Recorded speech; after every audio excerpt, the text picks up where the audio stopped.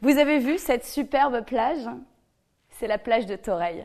Eh bien, je vous propose une superbe villa F3 à seulement quelques minutes d'ici. Pour en savoir plus, contactez-moi.